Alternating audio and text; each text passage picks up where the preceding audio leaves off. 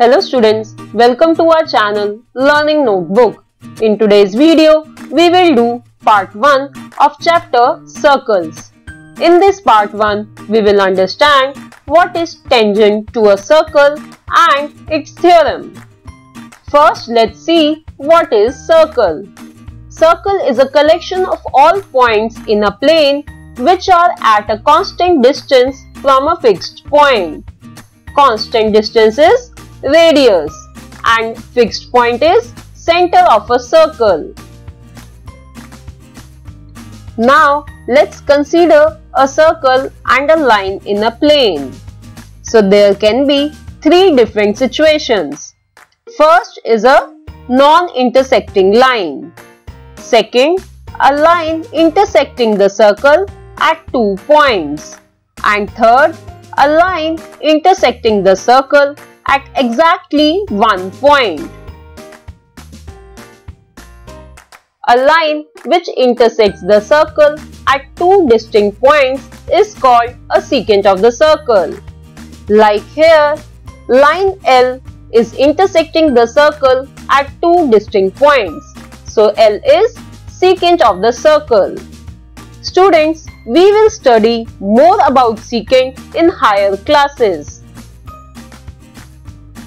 A line which intersects the circle at only one point is called a tangent of the circle.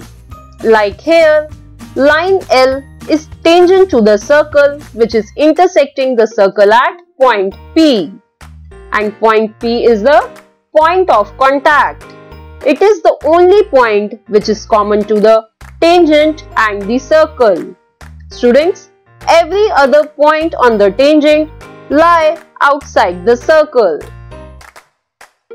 Therefore, of all the points on the tangent to the circle, the point of contact is nearest to the center of the circle.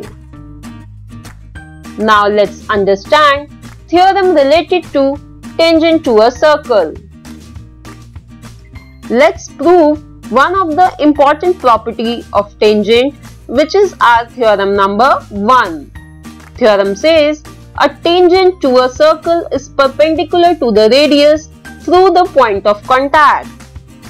We are given a circle with center O and radius R and tangent AB is intersecting at a point P. We have to prove OP is perpendicular to AB. To prove this, let's take any point Q on the tangent AB. Now join OQ which meets the circle at R. Now let's prove it.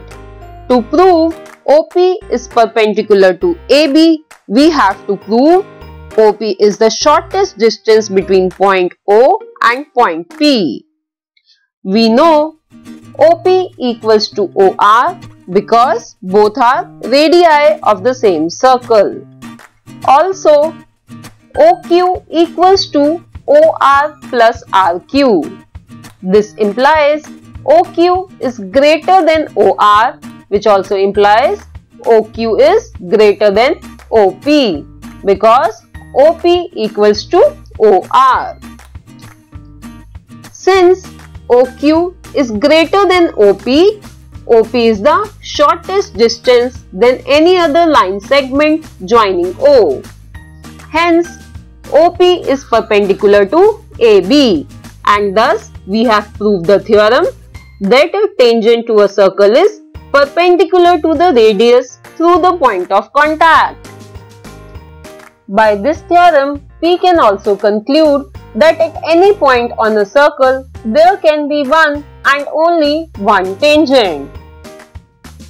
Now let's do some questions of NCERT exercise 10.1. Question 1 is How many tangents can a circle have? A circle can have infinitely many tangents. A circle is collection of infinite points and from each point on the circle we can draw exactly one tangent. Question number 2 is fill in the blank.